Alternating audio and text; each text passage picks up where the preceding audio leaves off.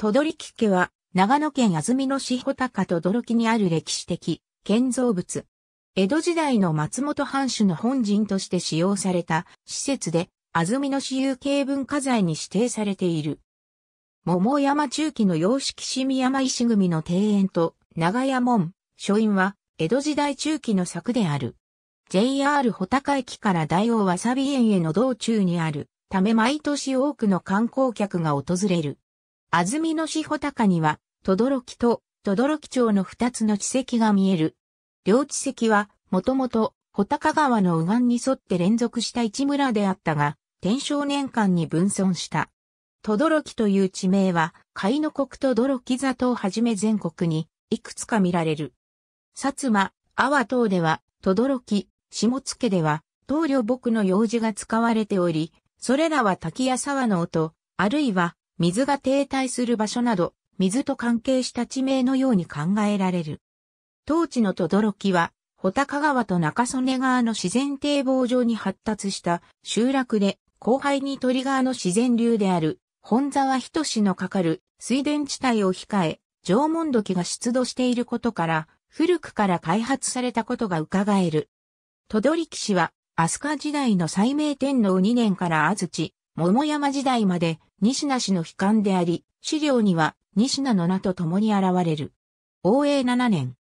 篠の妖刀における大王合戦において、信濃国主後、小笠原長秀に対する大文字一揆側の西名、森房の一党に、西名森光、戦国記、八郎、沢戸五郎、穂高氏、聖火氏、池田白田の安住軍の武士と共に、小鳥牧師の名が見える。武田信玄がこの地方を支配するようになったのが、天文22年で森城主に伊尾森信を当てた。戸取氏は西名森信に随心し、穂高地方を領する。永禄10年、武田信玄に対し、小さ型軍政島足島神社の神前で、忠誠を誓った気象文の中には、西名の親類機関として、戸取豊前守る正し奴の名が見える。天正八年、西名森信が、領中に散在した馬市を穂高に集中させるに、際して、戸取自衛門城に宛てた数通の書状がある。